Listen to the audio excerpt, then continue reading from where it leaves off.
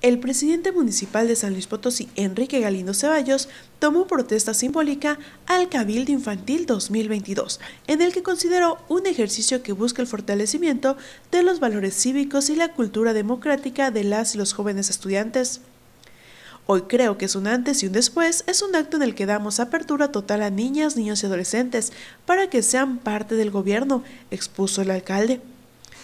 El alcalde Enrique Galindo señaló que el compromiso del ayuntamiento es tomar las recomendaciones que hicieron los miembros del Cabildo Infantil para convertirlas en políticas públicas.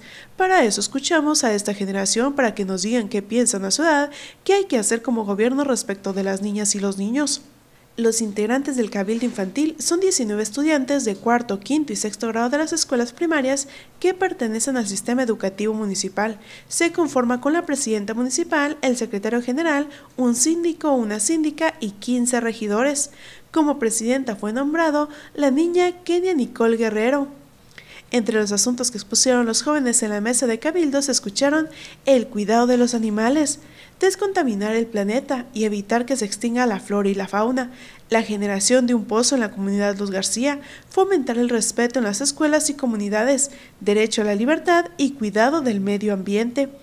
También se propuso recolectar el agua del sereno de la noche, cisterna para captar el agua de lluvia, programa integral para prevenir y atender la violencia contra las mujeres y niñas, derecho a la educación escolar, recolección de basura en la carretera, transporte escolar para niñas y niños de comunidades rurales, inclusión, no discriminación y huertos familiares. Para Noticieros Cable RB, Ana Ramos.